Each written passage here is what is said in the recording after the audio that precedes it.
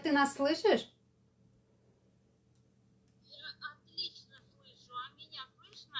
Тебя слышно, но плоховато. Так, Когда же будет хорошо-то, а? ну, нормально. Ты узнала, с кем я сегодня?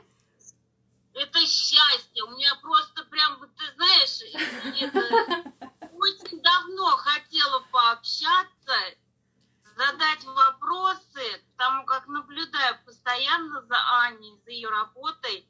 Ой, Света, это ну, вообще... мы с тобой уже про это говорили, что все, что мы думаем, все, что о чем мы мечтаем, это все кто-то там сверху слышит, и это все исполняется. Ребят, а, мы с вами в прямом эфире Инстаграм вышли а, одновременно пообщаться на тему «Я боюсь снимать ролики, я боюсь, получается, писать сторисы, я всего на свете боюсь, и пусть я не буду зарабатывать, но я не буду это делать». Да, то есть вот такая вот тема у нас с вами. Да, а одновременно я пришла к Ане в гости, и у меня просто в 7 часов назначен был Zoom для моей команды. То есть у меня на моем телефоне идет Zoom, и э, девочки мои меня слышат. Девочки, вы можете, э, то есть ваш голос будет слышен и у Ани в прямом эфире, можете свои вопросы Ане задавать, а Аня с удовольствием на них ответит. Вот, и те, кто в прямом эфире, тоже всем большой привет. Аня, у меня к тебе такой вопрос. Ну, давайте еще кратенько предысторию. У нас в команде как бы так получилось, что ну, я с девочками говорила индивидуально, и очень многие мне сказали, что э, я их спрашиваю, почему вы не ведете свой личный бренд, почему вы не снимаете сторис, э, не выкладываете ролик на YouTube. И очень многие мне сказали, я честно боюсь. Ой, я ухожу из твоего кадра. Ты знаешь, эта проблема не только в твоей команде. Вот. Это и, проблема и- и что сделали мы? Давайте я поделюсь. Э, Если нас смотрят э, Анины директора, возможно, они возьмут на вооружение у себя в команде тоже такое применят. Мы с девочками создали чат в Телеграм, где только мы, он закрытый. И мы договорились, что кто пока боится выкладывать видео в сторис, э, пожалуйста, выкладывайте просто в нам в чат. И мы будем давать обратную реакцию. А, так, я просто хотела тут... э, Девочки, кто у меня э, в зуме, можете, пожалуйста, микрофончики отключить, потому что э, вас слышно. Вот я слышу, там малыш плачет. Вас просто везде слышно. Если можете, отключите пока звук, а потом вопрос захотите задать, включите микрофончик свой. Вот. И мы с девочками объединились, и в этом чате мы выкладываем свои ролики и даем друг другу обратную связь. Да. То есть хорошо, плохо, светло, темно, там голову наклонил, не наклонил. То есть честную обратную связь э, даем в каждом, каждому видео. Да, ничего страшного. У тебя написано, что звук отключен в конференции. А, конференция. Все. Так, и вот смотрите, а, я хочу Ирину похвалить, потому что это вообще шикарная очень идея, каждый может сделать это для своей команды. Вот сейчас на данный момент мы подготовимся к гивэвэю, и очень мало, очень а, плохо вообще девочки меня слушаются, потому что они боятся. Вот, а ведение качественного бренда это вообще такая вещь, а, она очень легкая. Она очень легкая, она очень простая, и ничего там такого сложного нету, да, то есть, ну, я могу сказать, что я свой бренд веду на троечку, да, вот я себя честно, здорово оцениваю, да, я свой бренд веду на троечку, и ниже уже того, что есть у меня на странице, делать, ну, ни в коем случае нельзя, да, то есть, конечно, основной мой а, трафик и поток это YouTube, YouTube я люблю больше, снимаю туда больше, и наполняю там видеоролики больше и так далее. Вот, что еще бы хотела сказать, это то, что подумайте а, просто о том, что когда-то все до единого директора проекта Фаберлик Онлайн начинали с нуля. У них ничего не было, они пришли, у них был регистрационный номер и 0 баллов. Вот у всех до единого, никто с неба не падает сразу же на свой процентный уровень, да, а, упал туда, упал сюда, а именно у них, а, получается, у кого-то было стремление, у кого-то не было стремления, но все они каким-то образом а, вышли в директорский, на директорский уровень. И, конечно, тут э, самое важное понимать одну очень важную истину. Пока ты делаешь, ты к этому привыкаешь. Только ты перестаешь делать, начинаешь лениться. Что делать с тем, э, что вы, допустим, боитесь начать, а, боитесь начать а, выставлять сторисы, что-то рассказывать, что-то показывать. Во-первых, вам нужно определиться с темой, что вы готовы показать. Что вы готовы показать? И показывать только то, что вы готовы. Не, не прыгать выше себя, да, то есть если вы боитесь, допустим, снять сторис э, со своим лицом, ну, подберите какие-то фильтры, э, да, то есть и это тоже здорово. Э, подберите что-то такое, чтобы вы сами себе нравились. Это как бы очень хорошо, шикарно срабатывает, когда вы э, э как бы начинаете хорошо выглядеть, даже если вы не накрашены, да, к примеру. А это, во-первых. Во-вторых, конечно, очень важно сейчас понимать такую вещь, что вы а, когда вы ведете бренд, вы себе в итоге, раскручивая страничку, а, организуйте поток входящих заявок на регистрацию, свою структуру и свою команду. Вот это нужно обязательно. А, а вы себе нравитесь? Нет, я себе не нравлюсь. Ну, я сказала, что я буду говорить откровенно, да, то есть вот есть вопросы, а, какие я увижу. Я сижу далеко, кстати, от телефона, чтобы мы хотя бы немножко вдвоем гладили. Вот, поэтому я плохо мало вопросов вижу. Вот, и, э, честно сказать, себе я не нравлюсь, но я все равно подкрашиваюсь, что-то, да, делаю для себя такое, чтобы немножко лучше выглядеть. Вот, ну, они же с девочками обсуждали этот вопрос, да? Я считаю, что ну, очень малый процент людей, кто прям себе нравится в кадре. Но все остальные люди, вы поймите, что кто вот нас видит такими каждый день, ваши родные, ваши близкие, ваша семья, они к вам, к таким уже привыкли. Да, и все остальные, человек. они уже вас такими знают и любят. И э, вам просто непривычно смотреть на себя со стороны. Я вот тоже на себя смотрю, мне кажется, у меня голос совсем не такой. И как-то я, вот когда в зеркало на себя смотрю, я не так выгляжу, как вот я на камере себя вижу, да? То есть э, я к себе вот такой на камере просто не привыкла. Нужно принять себя такой вот, я считаю, какая есть, да. и, и все. И, и просто включать да, кнопочку да. запись. Еще хочется что сказать. А, когда вы будете 21 день а, стараться делать сторисы, хотя бы 15-30 секунд, вы к этому так привыкнете, что вам это будет не хватать. Я лично смотрю, а, не придумываю никогда, что снять. У меня идеи идут в голове уже потоком. А буквально пару лет назад я просто с ума сходила и каждый день судорожно думала, что снять, что сделать, да как так, да почему у меня не получается, да почему я не знаю, не знала вообще, что придумать придумать, да нафиг этот бренд нужен, да, то есть вот всякие такие вот мысли, я думаю, я буду уметь то, что я умею, да, то есть мне очень хотелось засесть в зону комфорта, очень хотелось, да, вот, конечно, а, видео, как в ТикТоке, никто не заставляет никого снимать, да, там всякие крутые вот эти с эффектами. Вот, да, с эффектами, со всякими, да, э, это, конечно, действительно сложновато и молодежи легче, да, привет-привет всем, кто только что присоединился, но э, просто а, поставить, допустим, свой телефон на треножку, включить свет в лицо и сказать все свои мысли, это должно быть как пить дать. Как пить дать? Это несложно. Берете треножку, ставите, включили свет и поехали. Поехали говорить, поехали общаться, а, поехали рассказывать все, что вам нужно. И таким образом вы привыкнете, вы со временем привыкнете, и все. Вы куда-то пошли, сняли видео, что вот я гуляю. Вы куда-то, вы что-то готовите вкусненькое, сняли видео, вот я вкусненько готовлю, да. То есть э, вы что-то купили, сняли, что вы купили, да, посоветовались с людьми. Вот вы знаете, у меня такие классные подписчики в Инстаграм, я вот вам клянусь, они у меня просто огонь. Я у них могу спросить все, что мне хочется. Они меня всегда завалят советами. Да, у меня... Что такое? что такое, да, мужик какой-то зашел, пишет пакости.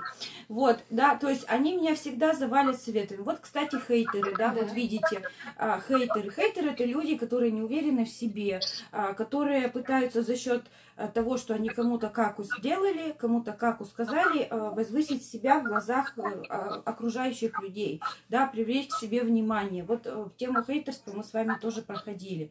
Вот, и поэтому, когда вы что-то боитесь снять, вы боитесь, а, что человек о вас подумает плохо. Незнакомый вам человек о вас плохо подумает. Он что-то вам напишет, какую-то гадость, какую-то бяку, да, из-за которой вы будете расстраиваться, гонять в голове или, ну, или еще что-то такое, да. Вот, и что получается? Вы свое благосостояние, свой доход, доход своей семьи, а, да, то есть там путешествия, квартиры, хорошие доходы, перекладываете, ну, грубо говоря, откладываете ради мнения а, каких-то людей, от которых, ну, которые вам не придут и миллион в кармане не принесут. Согласны? Вам, вам никто ничего не даст в этой жизни, если вы сами не будете делать. И все, кто вас осудят, они тоже вам ничего не дадут. Они прошли мимо, кучку наложили, да, чего-нибудь, и ушли дальше, класть еще кучку. Вот. И, а ваше дело акцентировать а, свое внимание и свои, как бы, порывы, да, свои, ну, как даже сказать, творческие порывы, да, там, какие-то съемки или еще что-то, на людей а, вменяемых, Понимаете? Невменяемые люди, они всегда недовольны жизнью. Они всегда э, будут э, делать так, чтобы раз у них не получилось, чтобы у вас не получилось. Они всегда будут э, вам тыкать и говорить. И э, на каком бы вы уровне не были, сколько бы вы ни зарабатывали, понимаете? Вот они просто все равно будут лезть. И, понимаете, это такая лень. Вот как бывает, две подружки сидят, да, на одну подружку мальчик, допустим, посмотрел в каком-нибудь кафе, сидят и с утра кофеек пьют. На одну подружку мальчик посмотрел, а на вторую не посмотрел. И вот та вторая, на которую не посмотрел, ей уже обидно. И она уже может взять и брякнуть что-то а, про а, свою подружку, на которую посмотрели. Прямо при этом мальчике специально, чтобы ее унизить и самой возвыситься, раз ее вот так обидели, да. То есть и тут, понимаете, то же самое в соцсетях. Если вы что-то хорошо снимете, вы привлечете к себе нормальных людей, а люди, хейтеры будут говорить, вот, вот такая насекая, не буду выражаться, да, в прямом эфире, вот такая насекая, смотри, как сняла, вот ведь, ну, вот ведь, а, надо какую-нибудь пакость написать, а то, ишь, разовьется, станет лучше, э, да к ней люди пойдут структуру, да в команду, понимаете? Вот тут тоже нужно обязательно понимать, никогда свое благосостояние не ставьте в зависимость от хейтеров. Никогда не стесняйтесь. Вы делаете свое дело. Где вы работаете? Вот подумайте. Вы взрослый человек, вы вправе име, э, имеете делать все, что вы хотите, да, вы взрослый человек. Это, во-первых, вы работаете в белой, легальной, официальной компании, вы платите налоги, да, то есть и так далее, и так далее. То есть у вас идет стаж. Это во-вторых. А в-третьих, а, ну не сделаете вы, сделает кто-то другой. И вы будете наблюдать, как у других открываются звания, статусы, растет зарплата. А вы-то чем хуже? Тем, что вы боитесь, что вот какой-то там мужичок зайдет и скажет «бе», Смешно. Ну, смешно, на самом деле. Я выбираю миллион, чем бояться этих бе. Вот и все.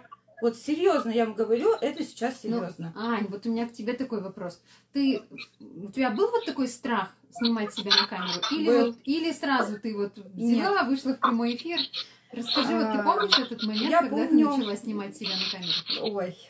А, мой момент, когда я вообще начала снимать себя на камеру, это был а, 2000 15 год, примерно январь, где-то там какой-то шум, надо как-то этот да. шум отключить. Угу. Да, январь 2015 год я вышла со своим э, первым вебинаром, обучающим для своей структуры и команды.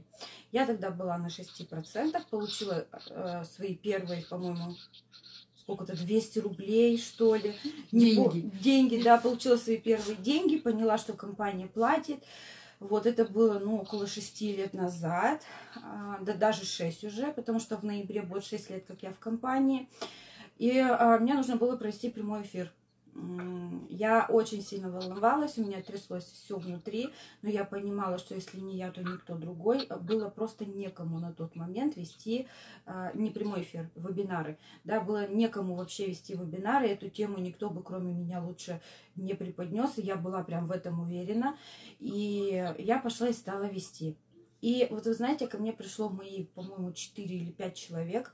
А я была вообще прямо так э, взволнована, что я несколько раз сказала не то слово и выключила ноутбук. Ну, ну, правда. Ну. Хотя меня поддерживал мой наставник, он со мной вышел, Коля Андрейка, он со мной вышел на первый вебинар, он меня записывал, он эту запись потом мне высылал со своего ютуба, да, то есть он все технически мне помогал, но говорить-то должна была я. И вот я выключила этот вебинар и ушла. Ушла, и у меня муж за мной бежит, Антон, говорит, Аня, ты что, давай, тебя ждут, давай, продолжай. Я говорю, я не могу, мне страшно. Я. У меня там чуть не истерика была. Я говорю, я сказала не то слово, я ошиблась, да. То есть, и Конечно, сейчас я это вспоминаю со смехом, но Антон сходил, включил ноутбук, сказал, садись, да, то есть меня поддерживал сразу два мужика, вот попробуй с такими мужиками не вырастить, да, вот.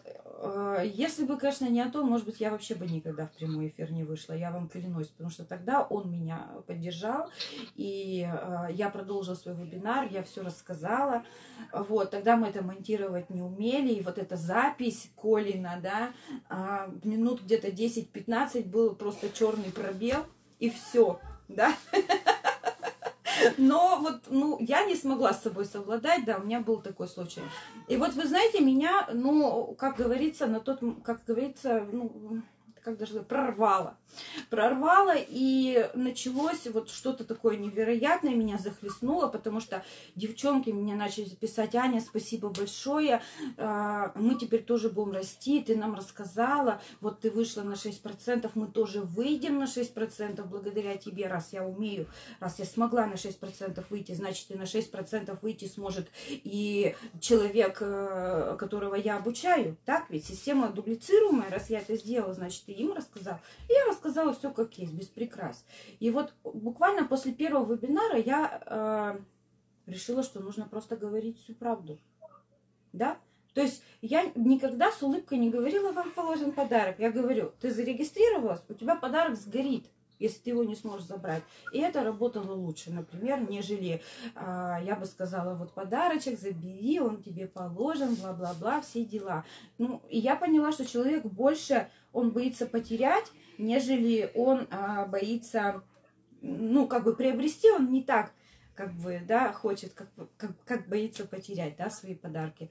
Вот. И я поняла, что таким образом нужно вести, в принципе, все вебинары. То есть я им рассказывала про акции, про подарки, тут же я им показывала, как я рекрутировала, тут же я им снимала видеоролики. Они начали в чате задавать вопросы, и я поняла, что мне нужно выйти на второй вебинар. Я а, создала презентацию. Господи, как я училась эту презентацию создавать. Вот уедут эти буквы. Или пытаешься их расширить, они возьмут, перевернуться. И ты не знаешь, как обратно. Это, во-первых, этот вспоминаю этот миг, этот момент. Это было что-то с чем-то. А вот. Вот, я еще плохо понимала Ctrl-C, Ctrl-V копировать, ставить. Я, я-то так, мне это тяжело давалось, вообще компьютер для меня, это было что-то типа, знаете, такого мучения какого-то. И вот вы представляете, и вот я в такой ситуации создаю вебинар э, с, с ребенком на руках, ребенку было год и три, э, Викуське моей, вот, э, слайд сделаю, за ней бегаю, слайд сделаю, за ней бегаю. Третий слайд приду делать, забыла, добегала, да, то есть и вот, вот так вот я начинала. Я начинала свой бизнес, я разрывалась, вот, но как-то успевали и с ребенком посидеть, и погулять, и на прививку ее сводить, в общем, все как бы по идее успевали. И на взвешивание сходить, да, то есть обследование, вот как раз это вот год мы три месяца обследования проходили, вот, и как-то, знаете, так вот все сочеталось, сочеталось друг с другом. И буквально, ну, грубо говоря, э, точно год, может быть, даже полтора года, но там уже девчонки начали присоединяться, мои директора уже, да, а за год я, во-первых, открыла рубинового директора, за четыре месяца я открыла просто директора, да, и а, самое интересное, то, что я смогла а, через день по полтора часа вести а, вебинары. Через день по полтора часа. Целый год точно, без перерывов. И меня это так захлестнуло, и я вижу, что у девчонок получается, и я их просто вела из темы в тему, из темы в тему. И причем я не задавала у них вопросов, они сами мне задавали вопросы, и я понимала, насколько некоторые темы глубокие, и как их можно раскрыть. И а, просто я шла а, за вопросами своих девчонок. Меня это захлестнуло. Меня слушают, со мной разговаривают, со мной... А, Ой, Маришка, привет, солнце! Я тебя вижу, да. Привет, дорогая. Меня слушают. И вот это вот, знаете, такое ощущение того, что я нужна. Я нужна, у меня есть ответственность за команду, и поехала. Я поняла, что я пример. И вот, знаете, одно за другим, одно за другим. И я пока снимала ролики, выкладывала их на YouTube, я не знала, что такое Инстаграм на тот момент, да, вот первое, когда я выходила. Я выгружала откры... записи вебинаров на YouTube, и меня начали смотреть, меня начали рассылать друг другу. Проект меня вознес чуть-чуть повыше, нежели я ожидала. И у меня сам по себе образовался бренд на Ютубе. И меня начали рассылать, потому что я говорю нормальные вещи. И вот оно буквально года за два а, раскрутилось так, что у нас пошло по две, по три а, регистрации в день просто на входящих потоках. Буквально за два года работы. А, и я снимала вебинары на тему, вела, вернее, вебинары на тему вопросов своих, своих новичков, своей команды. Вот я, допустим, говорю, девчонки, а ну идем рекрутировать в Одноклассниках. Они, а как это? презентацию, вебинар. Я им все рассказала, все дала, все показала. И причем я не смотрела мои, не мои, да, то есть я пришла в команду к своему наставнику, я пришла в команду Коли Андрейка, и я понимала, что, что его команда тоже может со мной чем-то поделиться, поэтому я их пускала на свои вебинары, они моих девчонок пускали на свои вебинары, и вот сейчас у нас создалась мощная система роста из 300 директоров, 6 лет, ну почти, почти 6 лет спустя, а, у нас один за всех и все за одного. Вот сейчас, на данный момент, мы уже с директорами не обсуждаем, боишься ты снимать ролики, не боишься ты снимать ролики. У нас уже два дня а, в чате тема, как организовать марафоны для наших новичков. У нас даже не обсуждается, умеешь ты или не умеешь, понимаете? Вот до какой степени а, привыкаешь снимать, привыкаешь разговаривать, а, просто перестаешь замечать хейтеров в своих соцсетях, и до какой степени тебя все это захлестывает, и тебе нравится, когда ты видишь свой результат, когда твоя зарплата растет, да? То есть, э, что за год мы вышли, рубиновый директор, это премия 220 тысяч русских рублей. А вот сколько зарплата? Ну, может, 1100 да, ну я не помню точно, вот я, mm-hmm. я сейчас не боюсь соврать, ну примерно, да, плюс-минус 20, ну плюс точно не плюс, ну где-то может тысяч восемьдесят, да, то есть и работая продавцом, а, я вышла в декрет, меня уволили в связи с ликвидацией фирмы, когда Викуське исполнилось 5 дней, я только родила, меня уволили, меня сократили, этой фирмы больше нет, то есть все, пошла ликвидация. И я поняла, до, до, до какой степени найм, он вообще ненадежен. Все, что я создаю тут, а оно имеет такие плоды, такие а, приросты, да. Я говорю девчонкам, как делать, они это делают, у них это получается – и они становятся надежными бизнес-партнерами, потому что их зарплата растет, они выходят на 30, на 40 тысяч, и они уже не хотят за 15, за 20 на найм, потому что тут они больше зарабатывают, тут им лучше, да. То есть, э, ну, я не знаю, э, как бы, и когда вот так вот снимаешь изо дня в день, до такой степени а, привыкаешь, да, до такой степени привыкаешь, сеть недоступна, Интернет. да, ну вот пусть девчонки идут, напиши им в чат, пусть они идут. Угу. Я просто вижу вопрос в Инстаграм. Ирина, в каком вы статусе? Я в закрытом статусе старший директор, в открытом статусе серебряный директор. Да, да, да, скоро будет бриллиантиком, я очень жду. Нам бриллиантики нужны в первой линии. А, наговори им микрофоном. В Инстаграм. Идем, да, идем в Инстаграм. Вот, и смотрите, сейчас подождем девчонок, они переподключатся. А, есть у вас вопросы, девочки? Я чьи-то вопросы пропустила, я сейчас боюсь, вот Ой. пока девчонки переподключаются, я на ваши бы... Ой, я бы на ваши вопросы поотвечала. С удовольствием. Как шире это сделать? Вот, а, о, о чем, чем были, были вебинары через день? Это я ответила. рассказывала, даже не знала, что такие вопросы задают. Смотрите, как я провожу... Чувствуешь аудиторию? Да, смотрите, как я чувствую аудиторию, я уже знаю, какие Сеня, вопросы зададут. Да. Еще, конечно, нужно обязательно поздравлять. У нас в каждый каталог были поздравления, я в них участвовала, всегда поздравляла свою структуру, команду. И я, конечно, тоже вот была очень счастлива, потому что признание это ну, самое важное, что должно быть. Пишут девочки, но реально на камеру очень тяжело говорить. А что тяжело? Вот я сижу, говорю уже полчаса, ну, наверное. Вот знаете, мы, кстати, со своими девочками, когда этот вопрос обсуждали, мы поняли, что когда снимаешь себя на камеру, там существует две проблемы. Мгм. Первое, и как бы и мозг, получается, разделяется на две части. Одна его часть думает, как ты выглядишь, а А вторая часть думает, а что тебе сказать? Ну, выглядеть лучше на камеру, чем Вот. здесь на самом деле ты не будешь. вот, поэтому Подкрасилась, и все, проблем Вот, нет. Поэтому первую проблему убирайте. Не смотрите, вот- вот, я как бы сейчас, я учусь же, да, я тоже боюсь. Почему вообще я вот этот чат с девочками создала? Потому что, ну, у меня у самой такой страх э, снимать себя на камеру присутствует. А когда все вместе, когда нас много, то уже не так страшно. И получается самое главное, вот смотреть не на свое изображение, а вы стараетесь смотреть вот прям, где у тебя камера, вот где-то наверху, да, то есть Да. туда глаза смотрите в камеру, чтобы ваши глаза видели ваши зрители. Нет, я не похудела. Я скинула всего 2 килограмма, это не считается. С какого процента можно зарабатывать в Фаберлик? Смотря сколько вы хотите зарабатывать. А, смотрите, вы выходите на 3%, у вас зарплата 150 рублей, вы выходите на 6%, 720 рублей, на 9%, 3240, на 12%, э, 5 с чем-то, да? 15%, э, не Семь? помню, 7, да, 7 с чем-то. Потом 13 500. Э, Да, 19% это у нас идет уже старший вице-директор, да, это ну, примерно ну, 1020-22, вот где-то так уже, да, получает раз в три недели, да, то есть 22 тысячи, Мгм. а вы считаете 6%, потом остальное умножаете на 6% это налогообложение, да, у нас белый доход, не забывайте. Вот, э, мы не офшорная какая-то там компания, неизвестно откуда доход белый, то есть вы полностью занимаетесь легальной деятельностью. И плюсом а, ко всему, то, да, то есть 22 Ты минус видишь, 6 какая у меня процентов. телефон? Да. Так, погоди. 22 мы умножаем на 19, снимай телефон. И умнож- э, делим, давай посчитаем, сколько в месяц, да, потому что у нас 19 зарплат, и очень сложно. 22 умножаем на... Погоди, минус 6% сначала.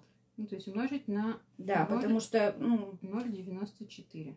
мгм. Это 2000. без... без 22 тысячи, вычти 6 22 процентов и все. Минус 20 шесть и написала. клубку процент. 22 тысячи Мгм. минус 6 процентов. Вот. 20 680. Вот, и вот эти 20 680. Поделить на 21 и умножить на 30. Это ты хочешь? Ого, как ты? Ладно, ты что 29 500. Вот, 29 542. То есть э, старший вице-директор при нормальном построении уже получает практически 30 тысяч рублей в месяц за минус уже налога. Вопрос. Компьютера нет. Как начать правильно? С телефона работать, с планшета работать. Я, э, честно вам скажу, брала в рассрочку без, пере- без переплаты ноутбук, потому что я была уверена, что я вырасту. И я платила кредит месяца 4 за этот ноутбук в рассрочку.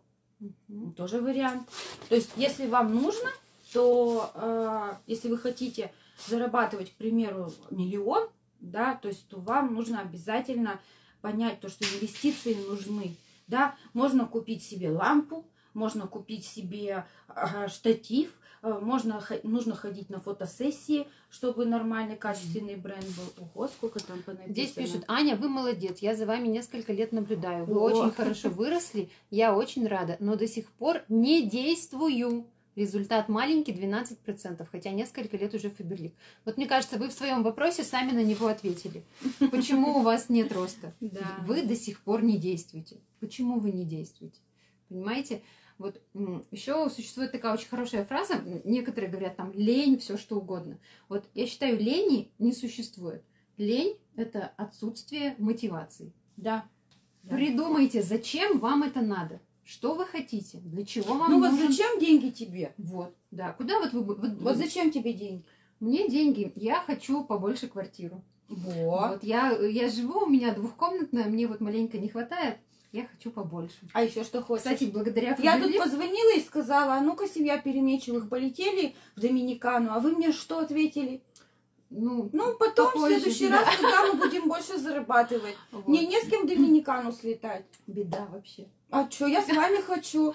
Вот. Еще я могу сказать, благодаря Фаберлик мы рассчитались за квартиру. Ипотеку, Ипотеку погасили. погасили. Вот без вот этих вот премий, выплат, наверное, это было бы все подольше. А так мечты сбываются гораздо быстрее. Да. Так, так, так, так. Как вы приглашали на вебинар и сколько на тот момент было человек в группе? Ой, я не помню, сколько человек в группе, но у меня активность была плохая. Я помню, что я начала рекрутировать с плохими фотографиями. Я не думала, это, что это важно. И я очень сильно портила сама себе статистику. Я писала с ошибками, сплошным текстом, петициями, а, наполняла свои рекрутинговые странички. Раньше я же не умела работать рекламой. А, фотографиями кривыми и косыми непонятными, да, то есть я не понимала, что как бы, поэтому э, я помню, что первый каталог ко мне пришло 54 человека в команду, и только трое сделали заказ. Да, то есть э, второй каталог мы уже вышли на 9%, э, то есть и э, на тот момент в моей команде было, может быть, уже 300 даже человек, но активных бизнес-партнеров с этих 300 человек было не более 5. Ну вот где-то так может быть, даже 400 человек. Но это такая есть статистика. Директором у нас в структуре в команде, вот мы высчитывали, а, станови, стал каждый, по-моему, 69 или 59. Ну, давайте возьмем даже каждый 69 зарегистрированный. А с каждым нужно поработать. И вы не знаете потенциал человека, который к вам приходит. Вот. Меня родные и близкие не поддерживают, но я не сдамся. Утрите нос утрите нос. Когда у меня мама кричала, я разобью все твои компьютерные ящики, я выключу тебе электричество, и она пару раз во время вебинара, кстати, моя мама выключала мне щиток. Щиток просто вырубала свет по всей квартире, и я, и мы даже не знали, что это делала она, я выходила в интернет с телефона, писала девчонки, так случилось, что у меня нет интернета, простите, извините. Да, то есть, ну, такой, знаете, раньше мобильный интернет плохой был. Вот, и я им писала, говорю, как только включат, и мы ждали порой, и она ночью, ей захочется лечь спать, она врубала. Вот, а меня еще очень многие спрашивают, как я привлекла мужа Фаберлик в свой бизнес. У меня, кстати, муж тоже в звании директор. Да. Мы с ним э, работаем вместе, он меня во всем поддерживает. А он мне, кстати, мебель делает классную. Вот кто живет Киров, Кировская область, ребят, мне кажется, лучше мебельщика не найти. Очень хороший пацан. Вот. И честно вам скажу, все, что он мне вот пока на данный момент сделал, я очень довольна. Кухня просто белоснежная, классная, просто огонь. Вот, поэтому... Вот, я рассказываю, как привлечь мужа. Угу. Я просто э, очень много смотрела вебинаров, различных спикеров. Я, ну, очень много же у нас существует на проекте вебинаров, которые в открытом угу. доступе находятся на Ютубе. И я, ну, как-то в наушниках не очень люблю, поэтому я тихонечко так колонки включу и, и сижу слушаю. И вот он, видимо, одним ухом там ко мне как-то прислушивается, и ему становится интересно. А, как бы, между прочим, да. И он начинает, слушай, ты вот, я лежу, прислушиваюсь, мне вот уже интересно. Мой муж говорит, что я в секте. Ну, пусть говорит. Да, скажите. А мой муж ко мне серьезно присоединился уже на уровне старшего директора но он не мешал мне заниматься своим делом, он знал, что я очень активная, у меня вообще жизненная позиция очень активная, вот, и я не могла сидеть дома, сложа руки и деградировать, да, с ребенком на руках, и мне надо было чем-то заниматься, вот, потому что, ну, что, пеленки, распашонки, там, гулянки, еще что-то, ну, два, ну, три часа, ну, есть приготовить, ну, два часа, а что мне делать, как-то же, ну, мне хотелось себя реализовать, мне не хотелось, чтобы мои мозги плесневели, вот, и он мне помогал. Я, допустим, веду вебинар, он а, с Викой уходил гулять в это время, да, то есть, ну, как бы вот тоже, и он мне помогал, помогал. Потом я ему говорю, Антох, я на 19%, мне надо ИП открыть. Говорю, я ничего не понимаю, куда ехать, что а, мы плохо, нам, мы жили в поселке Мурыгина, а надо было ехать в другой поселок Юрью. Я этот поселок не знаю, я говорю, я заблужусь, и он со мной поехал. Вот, и первые деньги на расчетный счет в банке, мы начали получать. И потом, когда уже его зарплатушка стала мешать нашему доходищу, нет, ну честно, честно. А, вот как бы он сказал, все, я пишу заявление, я увольняюсь. И вот только-только мы уволились, и он уволился, мы начали расти, за год уже вдвоем открыли Рубина, то есть с уровня старшего директора мой муж, когда увидел мою зарплату, он ко мне полностью целиком присоединился, он мне не только помогал, но он и сел рекрутировать в соцсети. С уровня старшего директора вручную рекрутирует у нас только Антон. А ты пошла снимать. А я начала снимать сопровождение, еще что-то. У меня так развязались руки. И потом а, с уровня рубинового директора мы вот взяли уже нянечку. Нянечку с хорошим стажем. А, 6 лет она в садике отработала воспитателем. И мы ее взяли к себе, потому что начали замечать, что ну вот с Викуськой у нас начались вопросы по развитию, еще так далее. Мы уже тогда взяли педагога, чтобы она с ней начала пораньше заниматься. В принципе, я вообще рада, что мы вот это время не упустили зря. Вот таким вот образом, ребят. Очень круто. Вы понимаете, что вот у вас появилось желание после нашей беседы взять в руки телефон и снять свою первую сторис? Их нужно делать каждый день. Начни, начните с 15 секунд, потом перейдите на 2 сторис, потом перейдите на 3 сторис. Хотя бы по 3 сторис в день, 45 секунд. Да что они у вас заберут? Времени ерунда. Чем занимается Антон? Он только на технических моментах. Да. Туши и помады он не рекламирует? Нет, он не Он рекламирует рекламирует. туши, помады. Но он, если мне какой-то вопрос задают, допустим, в WhatsApp, он сидит в WhatsApp, допустим, разгребает, зашел, задает вопрос, он ко мне приходит, сует телефон, а ну вот такой вопрос, я тыр-тыр-тыр наговорила, отправила, все, он дальше работает с этим человеком.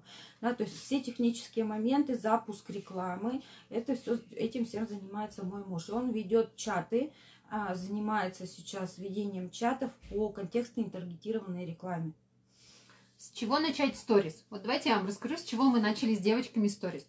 Э, У меня тоже был такой страх, да? Вот смотрите, первые сторис снимите три видео по 15 секунд. Можете на телефон просто сначала снять, потом их э, выгрузите в сторис.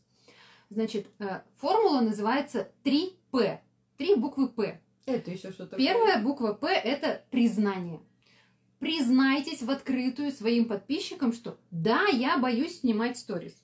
Ну вот, ну боюсь, ну дорогие подписчики, я вот хочу, но понять я бы... могу, Ну, вот, ну, слушай, ну, боя... Ну какие ты чувства испытываешь, когда вот ты Вот, навела Да. микро... вот смотри, потом вы объясняете вторая буква П причина, почему вы боитесь снимать сторис.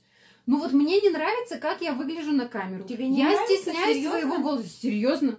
Я стесняюсь своего голоса. Он у меня вообще не такой, как в жизни. Вот там волосы, причем, ну вот, ну не, ну, не знаю, не нравится мне. да? И третья буква П – это просьба. У нас страна такая, что очень любят все давать советы. Мгм. Попросите совета. Конструктивную критику, что вы все принимаете, читаете в директ. И вот эти первые, то есть признание, признайтесь, что вы боитесь, причина, либо скажите причину, почему вы хотите снимать сторис, что у вас уже в голове столько информации, что вам просто нужно с ней делиться, и вы понимаете, что сторис это э, лучшая площадка, где вы можете с людьми поделиться информацией Да. и попросите совета. Вот я эти все три сторис сняла, сделала. Вы знаете, сколько было откликов в директ? Мне люди написали, которые я даже не думала, что они меня смотрят. Мне все написали, Ирина, да так все классно, да что ты боишься, да у тебя все получится. И понимаете, вот столько положительной энергии вам э, придет в сообщение, и, э, и все у вас после этого пойдет. Так что не бойтесь, не бойтесь, Ну, начните. Голос, это точно. Но самое главное, Ириш, что ты начала, что сейчас твоя команда будет тебя брать пример. Да, и вот смотрите, если боитесь вот такие чаты, да, вот у нас в чате сейчас 11 человек, вот таких вот желающих не бояться, да, соберитесь, это могут быть люди из вашей команды, это могут быть люди, э, даже пусть вы в разных командах, но где-то вы все равно в чатах вместе пересекаетесь, э, с кем-то ведь вы все равно дружите, общаетесь, просто начните эту тему. Вот ты снимаешь сторис? Нет. А хочешь научиться? Вам 99% вам скажут, да, хочу, но боюсь. Объединитесь вместе, привлеките к себе людей. И когда вас уже несколько человек, уже, я вам скажу, не так страшно. А может нам организовать марафон по сторис? Ну, вот смотри. Вот смотри, давай вот мы, у меня сейчас на команде, у меня уже были такие мысли. Мы, вот это вот у меня тренировочная группа, которая в зуме, мы это все обкатаем. И вот смотрите, по статистике, я вам сразу скажу. Первое видео сняли 100% все участники чата. Кстати, у меня муж Алексей в этом чате. Алексей не снял. Алексей, если ты нас смотришь, мы ждем твое видео. Почему ты, ты тоже не снимаешь сторис? А у тебя получится. Все сняли первое видео. Второе видео, то есть мы каждый день э, даем задание, да, на какую тему нужно снять ролик и выложить в чат. Второе видео сняли 50%, половина, от, которые в первый день сказали «я хочу», да.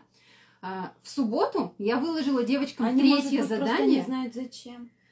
Ну, Может, может, просто люди не понимают, зачем это им. Вот смотрите, сторис — это навык.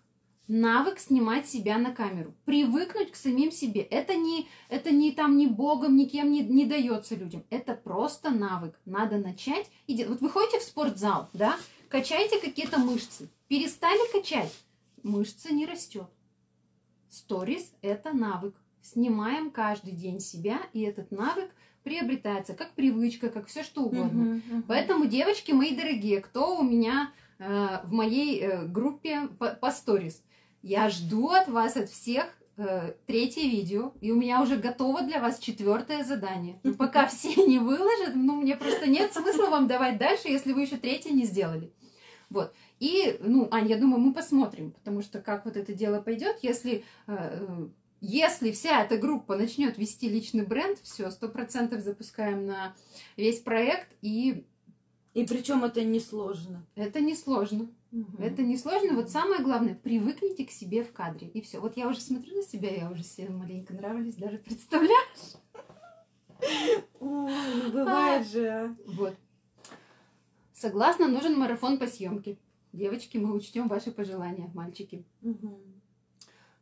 Так, я, чтоб м, побороть боязнь камеры, начала снимать ТикТок.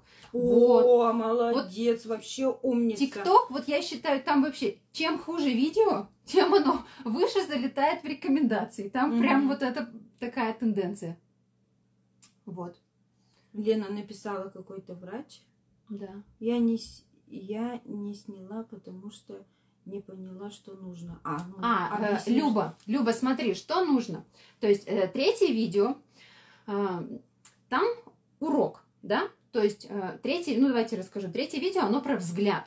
Вы все прекрасно знаете, что от нашего контакта со зрителем зависит очень много.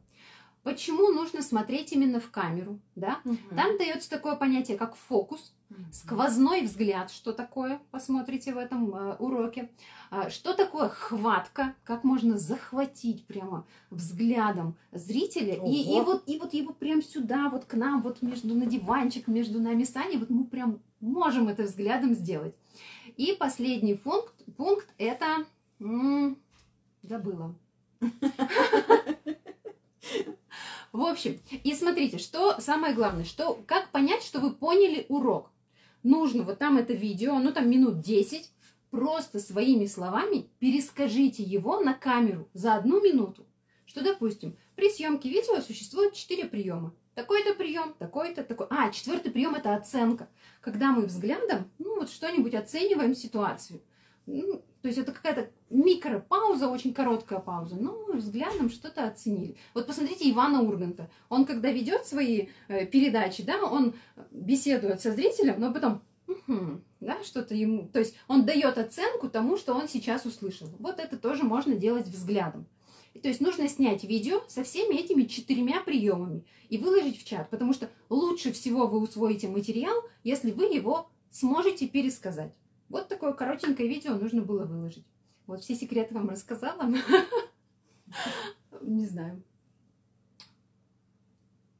Оценка взглядом 4.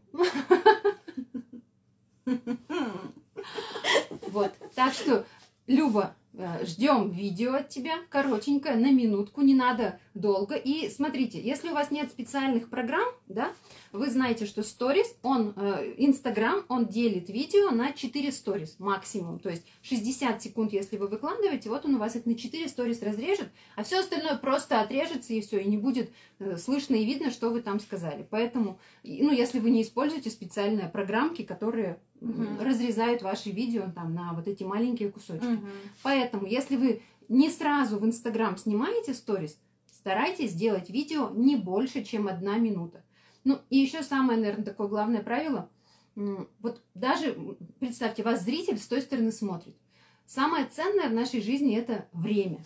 И вот эти 15 секунд, которые он вас смотрит, э, они все равно должны человеку принести, я считаю, какую-то чуть-чуть пользу.